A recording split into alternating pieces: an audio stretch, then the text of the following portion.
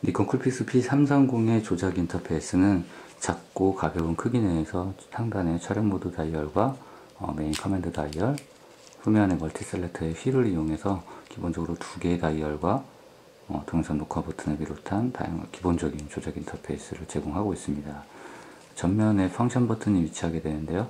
이 우측 하단으로 배치가 되어 있기 때문에 한 손으로 카메라를 파지해서 펑션을 비롯한 다양한 기능들을 이용하는데 최적화된 단순하지만 최적화된 그런 구성을 보여주고 있습니다.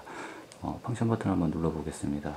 가장 최근에 펑션 버튼에 대한 기능은 가장 최근에 사용한 기능들을 맨 앞쪽으로 불러오는 그런 모습을 보여줍니다.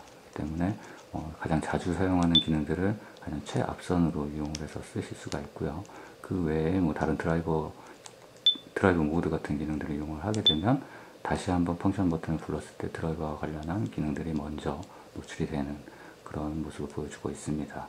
이외에도 Nikon 특유의 어, 짜임새 있는 디테일한 설정들이 돋보이는데요.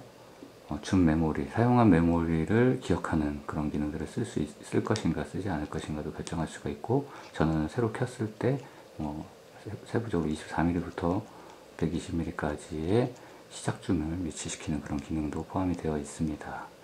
이외에도 설정을 통해서 조리개 우선이나 셔터 우선에 대한 선택 버튼을 전환을 할 수 있는 어, 니콘 DSLR 제공되는 그런 기능이죠. 그것들을 이용할 수가 있고 표시값 방향 설정, 노출 정보 값을 좌측이나 우측으로 변경할 수 있기 때문에 어, 사용자가 익숙한 그런 방향을 선택할 수도 있는 그런 기준이 되겠습니다. 종합적으로 어, 얇고 작고 가벼운 그런 부피 내에서 최소한의 인터페이스를 채택하고 있지만 어, 갖출 것들은 모두 갖추고 있는 그런 조작 인터페이스가 되겠습니다.